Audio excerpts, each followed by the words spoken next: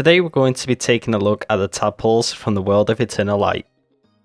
Among the ocean life on planet Light, there are many mysterious sea creatures with extraordinary secrets about their origin.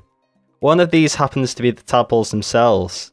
Similar to tadpoles found on Earth, these tadpoles look almost the same and have the same exact way of doing things. One major difference is how they all have a specific colour. These can include blue, yellow, red and green. It's uncommon as to why they appear with different colours, but one thing's for certain, they look cool. So like tadpoles on Earth, these ones grow in four stages.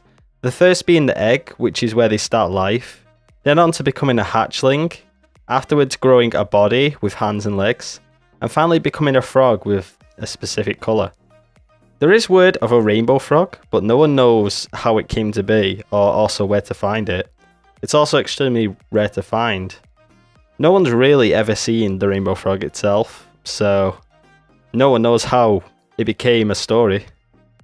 The last bit of info we have on these tadpoles is that they are harmless and don't pose any threat to other life.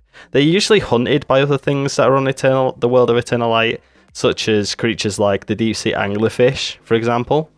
And tadpoles just sort of they're cute and don't pose any threat to anything, except flies, of course. But overall, these creatures are fairly peaceful and will remain to be as long as the light continues to shine. That's hoping that nothing bad ever happens on the world of the Eternal Light. But if it does, who knows what will happen next. Hope you guys have enjoyed this little sort of fact file around the uh, tadpoles. And if you'd like to see another one like this, be sure to hit the like button and subscribe for more videos on Eternal Light. Thanks for watching, and I'll see you in the next one. We'll be.